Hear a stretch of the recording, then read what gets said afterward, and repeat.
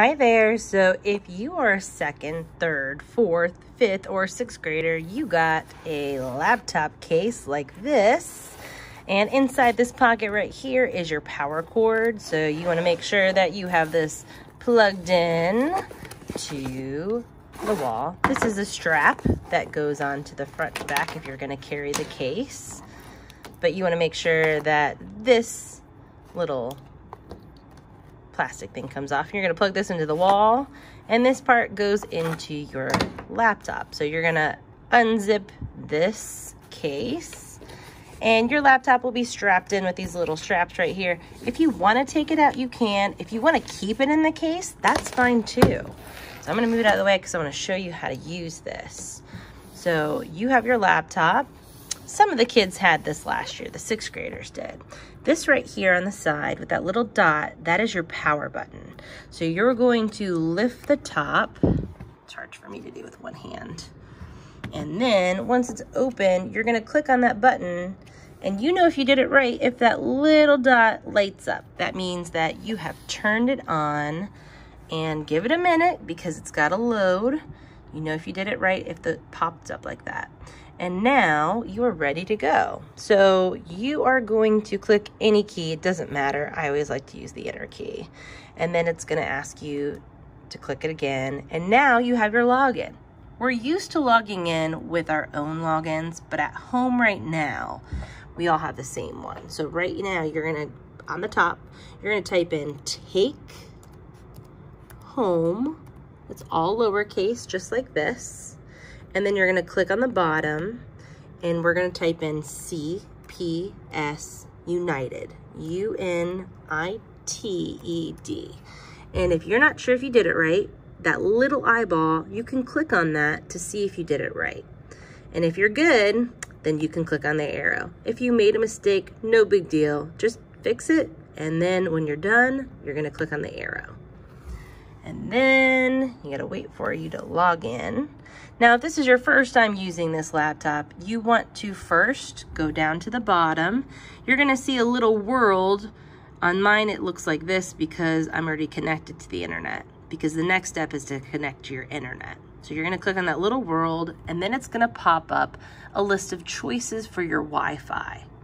So I'm at Woodford right now and I'm connected to Woodford, but you'd have to click on it and then type in your password for Wi-Fi to get connected to the internet. Once you do that, then you're gonna find your little icon. This is called the desktop. And you're gonna find the little icon that says Google Chrome. So you're gonna double click on that. Oh, this is your trackpad. Maybe you're used to the mouse. This is like clicking on the mouse. So just like you would click on the mouse, you know, you usually hold the mouse like this. This is clicking on the left click and this is the right click. So I double clicked and now I wanna go up to the top corner and find where that little head and shoulder circle is. So I'm gonna move my mouse to it and I'm gonna click on it. And then I'm going to click on turn on sync. This is where you're gonna log in with your Google. So all the kids have your own username. Remember how we log in on the top? That's your username. So mine's S-M-I-J-E-N-N. And then we're gonna do the at sign. And if you remember how to do the at sign, the at sign is on top of the number two. So we hold down the shift button with one finger or one hand, and then you're gonna touch the two, and that's gonna add that at sign all the kids have Cincinnati, C-I-N, C-I-N-N, A-T-I-P-S dot O-R-G. Once you get this done, click on the next button and then you're gonna type in your password. Your password is your birthday. And you still have that little eyeball that you can touch to make sure that you're typing it in okay.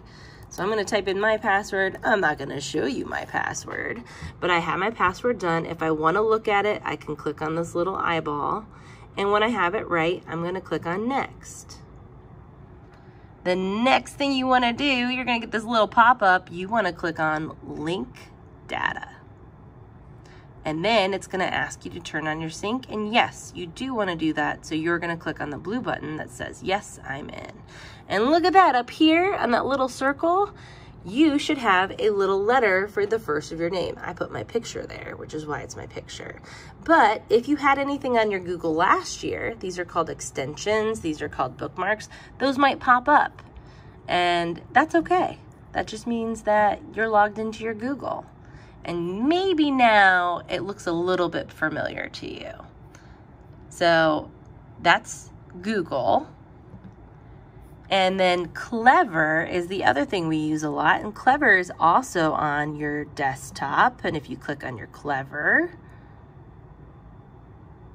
look at that. There's a button that says log in with Google. Well, we already logged in with Google, so we can click on that little Google button. Sorry, I have my extensions popping up. That won't happen to you if you don't have any. You're gonna click on login with Google.